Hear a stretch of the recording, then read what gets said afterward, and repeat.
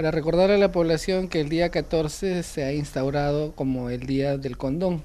Eh, y en este día es donde nos recuerda que existe un, un, este, un elemento que se llama condón que va a prevenir contra las infecciones de transmisión sexual y también va a prevenir los embarazos no deseados, ¿no? Este, debemos precisar que es por el momento el único método para prevenir las enfermedades, perdón, las infecciones de transmisión sexual como el VIH, por ejemplo, ¿ya? Y en la actualidad existen dos tipos de condones, el condón masculino, que es el que vemos acá, que esta es la presentación por unidad, vienen en diferentes empaques. Y ahora hasta saliendo el condón femenino, ¿no?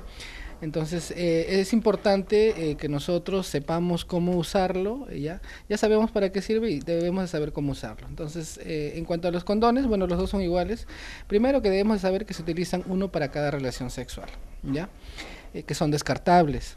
¿Ya? que los debemos adquirir en un lugar de prestigio, o en una farmacia o en, los establecimientos de salud, tanto centros y puestos de salud como el hospital, en donde se distribuyen de manera gratuita para la consejería.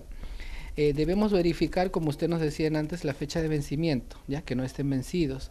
Debemos verificar que el empaque esté totalmente indemne, que no haya roturas, que no haya rasgaduras. ¿ya? Y todos los condones tienen una parte dentada que es por donde se va a abrir el condón, ¿no? con, con los dedos. ¿ya? No se abre con la boca. Los condones se guardan en un lugar fresco, que no les dé el sol, que no esté caliente, como por ejemplo, si, si usted lo quiere llevar, tendría que estar en la cartera de las damas o en el bolsillo de la camisa en los varones. No puede estar en la billetera porque el calor malogra el condón.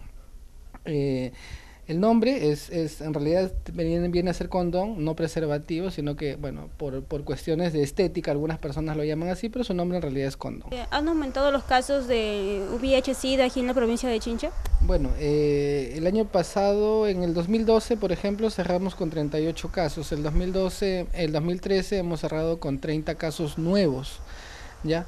Eh, en realidad eh, la estadística en estos años es más o menos esa, ¿no?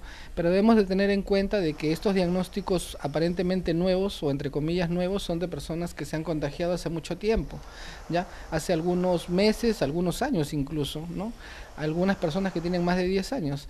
Entonces eh, es importante la educación, la prevención, ya lo más importante para VIH es la prevención. Entonces qué debemos hacer nosotros como padres, ya educar a los a los hijos, a los jóvenes, a los adolescentes a la sexualidad responsable. ¿Qué significa? Que hay que retardar lo más que se puede el inicio de la, de la actividad sexual y a la persona que ya inició sus relaciones sexuales no hay que ser eh, cucufato y, y, negar el problema. ¿no? Si ya existe, sabemos que que los niños o los adolescentes tienen relaciones sexuales, entonces facilitarle, facilitarle condones, no facilitarles que, no es, no es obligarlos a, a que tengan sexo, es en realidad de que se prevenga, ¿no? Porque si yo no, no le administro esto o no le proporciono esto, igual lo va a hacer.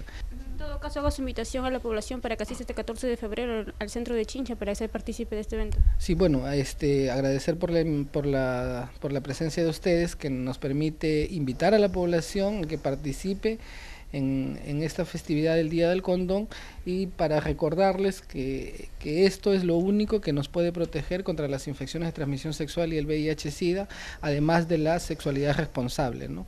Eh, como ya dijimos en antes, el, el retardo en, el inicio de las relaciones sexuales, la fidelidad, que es algo muy importante, y para las personas que no tienen una pareja estable, el uso del condón. El uso del condón, tanto femenino como masculino, que son las únicas formas en que nosotros podemos prevenir estas infecciones de transmisión sexual y llevar una vida más saludable.